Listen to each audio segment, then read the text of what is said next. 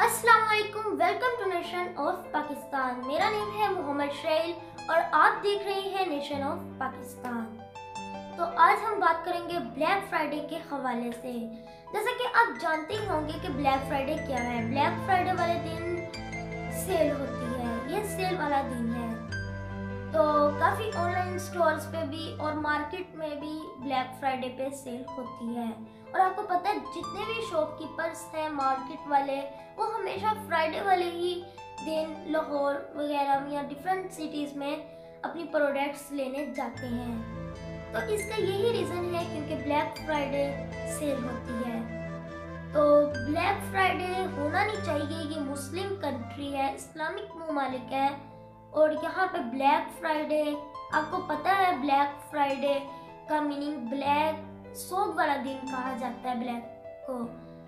तो Islamic country में black Friday का होना नहीं चाहिए। तो इसी तरह मैं अभी कुछ डेज़ पहले सोच ही रहा था कि ऐसा नहीं होना चाहिए।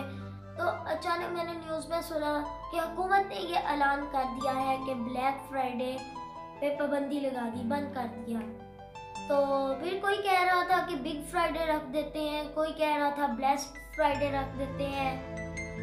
तो क्योंकि ब्लैक फ्राइडे के अलावा ब्लैक के अलावा और भी बहुत से वर्ड हैं संडे है और भी, यानी बहुत ज़्यादा है।